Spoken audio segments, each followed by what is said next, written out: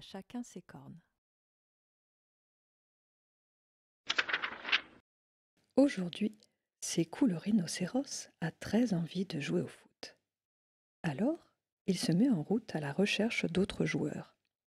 Quand tout à coup, il croit reconnaître quelqu'un dans les buissons. Sékou crie Hé, coucou, tu veux jouer au foot avec moi? Toby l'hippopotame sort des buissons. Mais en le voyant, Sékou éclate de rire. que tu es rigolo Toby, tout étonné, lui demande Pourquoi suis-je rigolo?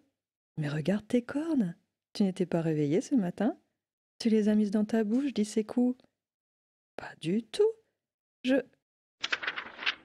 Excusez-moi de vous interrompre, dit Saya la girafe.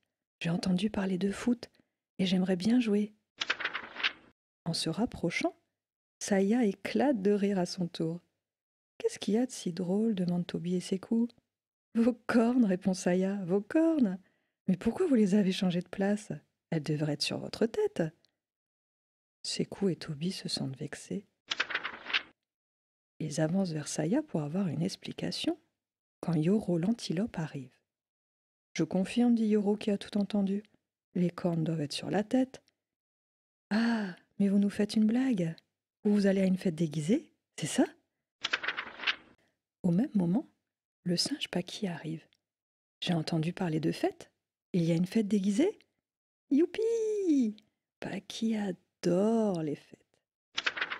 Alors, regardez un peu. C'est moi qui ai le plus beau déguisement. Là, je suis une girafe. Maintenant, un rhinocéros. Et là, un superbe hippopotame. Tout le monde se met à rire. Vous voyez, on ne va pas se chamailler pour des cornes. Chacun les met où il veut. Soudain, Kumba l'éléphant, qui a tout entendu, les appelle avec sa grosse voix. Eh oh, on va parler cornes toute la journée ou on joue au foot?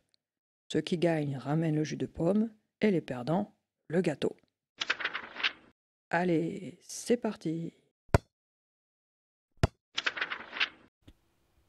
Après le match, c'est le meilleur des car corne ou pas corne, tout le monde se régale.